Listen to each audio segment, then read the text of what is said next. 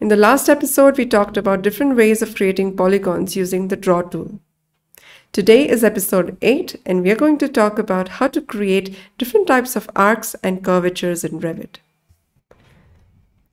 Let's start by creating model lines. In the draw panel tool, we have different types of arcs available to sketch. Let's start by using start ends radius arc.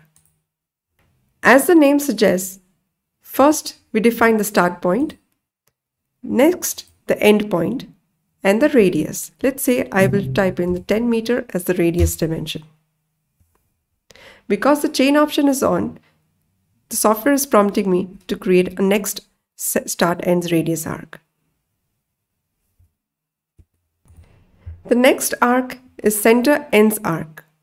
To create a center ends arc, first we need to define the center point, then the start point, and the end point.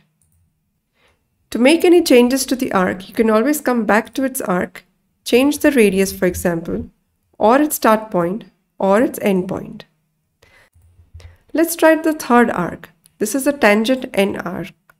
It creates a curve that connects to the end of an existing line. So I can start from an existing line's endpoint and continue to create arcs that are tangent to each other. Escape to come out of the tool. The fourth arc is a fillet arc.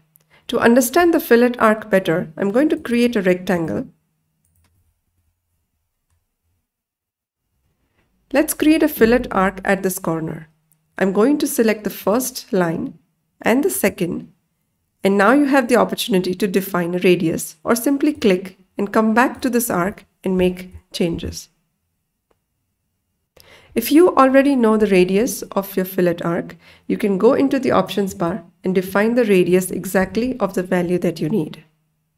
When you create a fillet, it automatically going to create a fillet arc of that value. Of course, you can always come back and make changes to that. When you create chain of lines using any of these shapes here, if you have defined a radius already, when you create the chain of lines. They've, all the corners will be filleted at the value that you have defined. Fifth type of curvature we can create is a spline. Spline creates a smooth curve between the control points that you define on the screen. I'm going to escape to end the spline. When you select your spline, you are able to edit these control points in order to smoothen the curve further. You also have the opportunity to add a control point or delete a control point. Let's talk about ellipse now. There are two types of ellipse available, a full ellipse and a partial ellipse. Let's start with a full ellipse. Like circle, we'll define a center point, the first radius, let's say 10 meters, and the next radius, let's say 3 meters. You can come back to an ellipse and change the value to the desired length. The same principle goes for the partial ellipse, the diameter and the radius. You can come back to this partial ellipse, change its starting and ending points to make changes to the length of the arc. You can also come back and change the radiuses.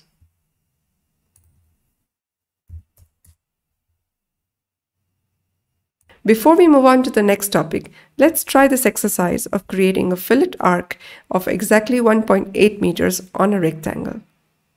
You may pause this video at this point and try to follow the steps. In the next episode, we are going to talk about levels, how to create them, and how to set them up for your project. Hope you enjoyed today's video and I'll see you in the next.